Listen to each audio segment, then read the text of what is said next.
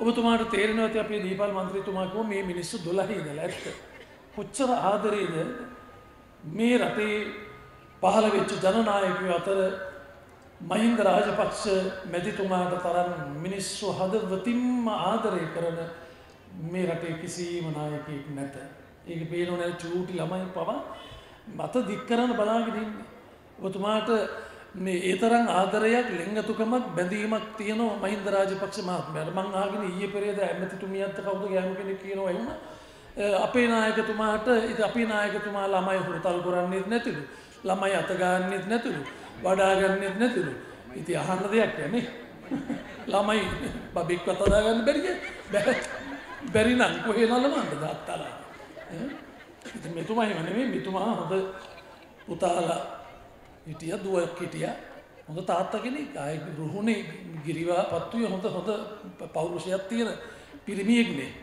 මම මම කියන්නේ සිරන්තින ඕන කැපිට නම් අදත් මම ඔබතුමාට වැඩි පුළුවන්. ඒ තරම් අයියක් තියෙන හොඳ පිරිමියෙක්. ඈ අවුරුදු 70 පැන්නට මම කියන්නේ මේ කාලේ හැටියට 75 නුත් බඳිනවා නම් මොකද ඔබතුමාට බැරි. ඒ නිසා මම සාමාන්‍යයෙන් යන්නේ වේදිකාවලට එහෙම කියලා කතා කරන්නේ නමුත් මම හදවතින් මගේ පදලංගල හාමුදුරන්ගේ හදවතේ හැමදාම ජීවත් වෙන නායකයෙක් තමයි මහින්ද රාජපක්ෂ. මම හැබැයි ඔබතුමාට එහෙම අමුතුවෙන් කඩේ යන්නෙත් නැහැ.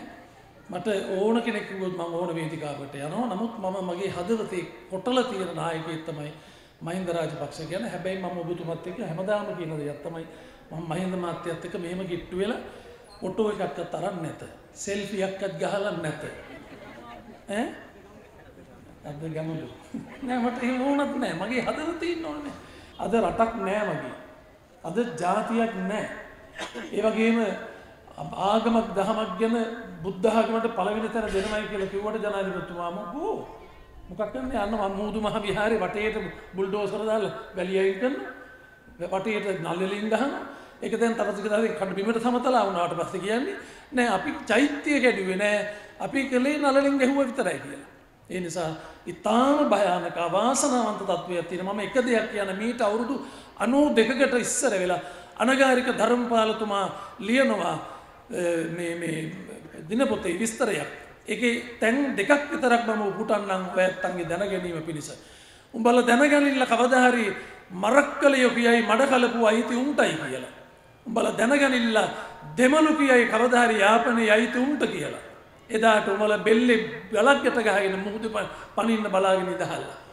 අද ඒ තත්ත්වයට රට වැටිලා ඉවරයි. බයි අපට විශ්වාසයි ඔබතුමා මේ මේ රටේ නායකත්වයට ආධිපත්‍යයට පත් වුණොත් මේ රටත් ජාතියත් ආරක්ෂා වෙලා රටයි ජාතියයි සම්බුද්ධ ශාසනයයි ඒ ආරක්ෂා කිරීමේ වගකීම ඔබතුමා දකුණේ පුරවැසියෙක් හැටියට දකුණේ මිනිහෙක් හැටියට ඔබතුමාට ඒ ශක්තිය තියෙනවා ඒ හැඟීම තියෙනවා.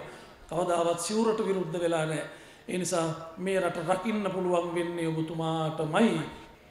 මං අද දෙකට තමයි ජනාධිපතිතුමා පන්සලෙන් එන්න ලෑස්ති වුණේ එන්න ලෑස්ති වෙලා මං එළියට බහිනකොටම කට්ටියක් ඇවිල්ලා හිටිය කෑම කන්න. අර තාර දාන කට්ටිය අපේ පන්සලේ මේ පැත්තේ තාර දාන්න ගියොත් අපේ පන්සලට ඇවිල්ලා තමයි කෑම කන්නේ. මම පොඩ්ඩක් කතා කරගෙන ඉන්නකොට මට කිව්වා හාමුදුරනේ මම මම කිව්වා මම යනවාද මහින්ද මහත්තයා එනවා රංගටක් විවෘත කරන්න බටපොතේ මේ ඒකට යනවා කියලා. එතන අර සාමාන්‍ය සේවකයෝ 6 7 දෙනෙක් හිටියා මට කිව්වා හාමුදුරනේ දැන් රට ගන්න දෙයක් නෑ. රට ඉවරයි කිව්වා. රට බල්ලට ගිහිල්ලා කිව්වා. මං කිව්වා බල්ලා නිදර්ශන රට ගිහිල්ලා කියලා. ඈ යනවලනේ මේ කන්න බොන්නක් දීලා අන්තිමේ මට කියනවා ආම්දුරුනේ වැඩේ නෑ.